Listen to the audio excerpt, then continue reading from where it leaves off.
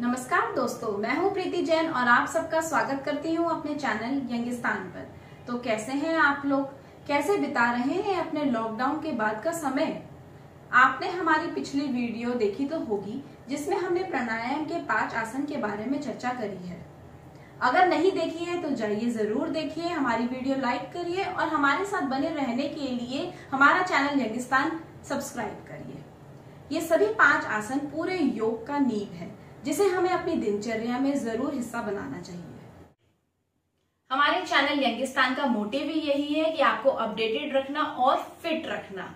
फिर चाहे वो फ़ूड से रिलेटेड हो या फ़ैशन से, क्योंकि लाइफ में रहेंगे अगर आप फिट, तभी लाइफ बनेगी सुपर हिट जैसे कि आप सभी जानते हैं कि 21 जून को अंतर्राष्ट्रीय योग दिवस के रूप में मनाया जाता है। तो इस योग दिवस के उपलक्ष्य में हम आपसे सूर्य नमस्कार की जानकारी शेयर करना चाहते हैं। इस सूर्य नमस्कार में 12 आसन होते हैं। हर आसन का अपना महत्व है और अपना अपना मूल मंत्र है। हमें ये भी नहीं भूलना चाहिए कि इस 21 जून को सूर्य ग्रहण भी पड़ रहा है, जिसकी अपनी कुछ सीमाएँ हैं। तो मैं आप सबसे गुजारिश करती हूँ कि अपना योग सूर्य ग्रहण से शुरू होने से पहले एक घंटे पहले ही समाप्त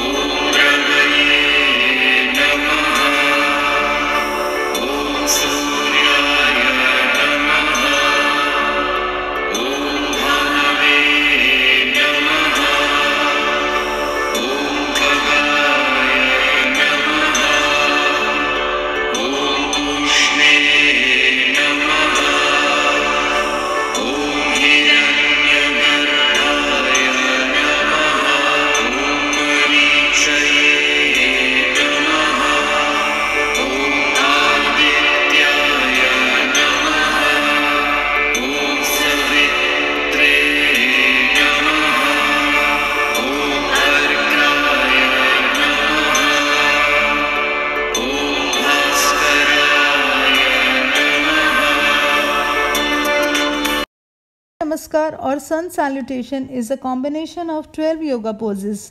These poses not only helps to lose that extra fat around the belly but it also lets you stay in shape naturally. As by practicing Surya Namaskar daily, one can alone burn 417 calories. Best done at the time of sunrise every day, Surya Namaskar has many benefits include the digestive system is strengthened and constipation is prevented.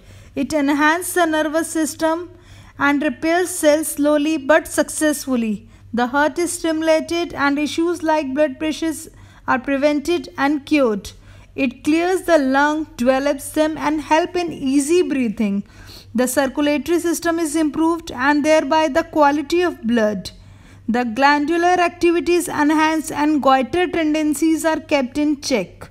Many muscles of the neck, arms, shoulders, finger, wrist, waist, stomach, knees, and ankles are strengthened.